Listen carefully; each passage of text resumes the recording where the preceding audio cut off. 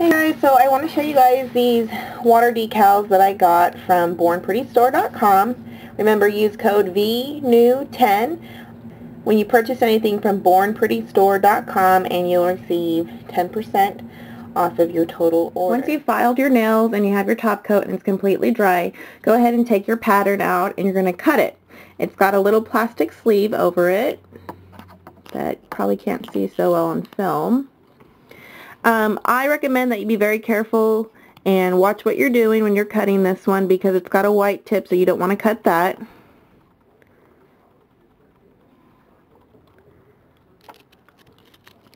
Once you've got it cut to itself, you're going to take that clear plastic off.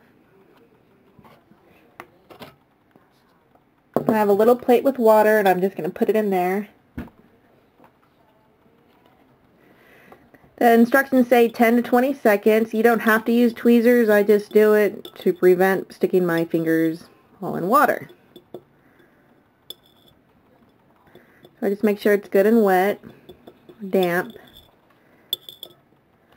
I go ahead and take the nail that I'm going to do and I dip that in the water as well. So once this is wet, you're going to see that this decal will come off of this white sheet of paper.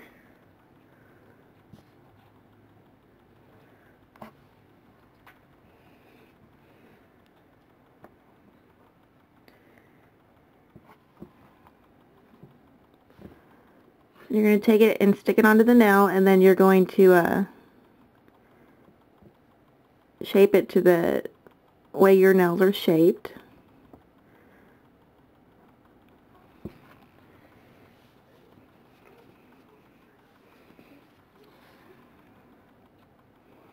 I try to get all the little bubbles out. And you can see that it's pretty easy to manipulate it and move it around. So you don't have to be worried if you get it on there and it's not exactly how you want it to sit.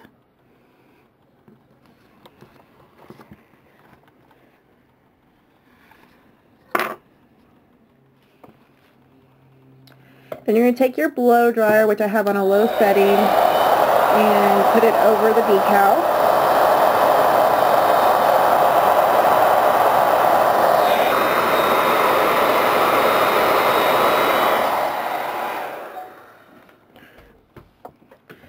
So before it's dry and before I put a top coat on it, I readjust just in case.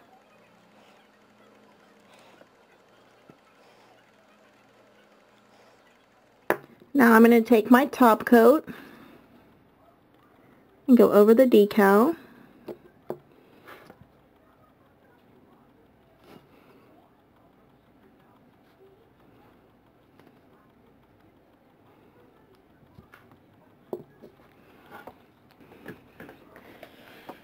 And then dry it.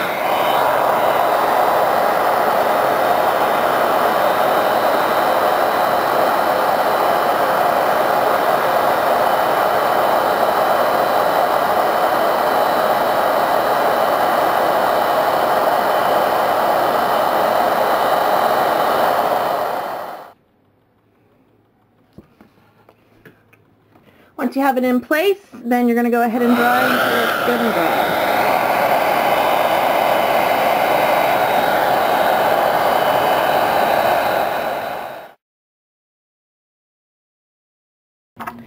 So there's a little bit of overhang from the decal. So what I'm going to do is I'm going to take a file and I'm going to um, gently file this away. You want to be sure and do this when your nail is good and dry.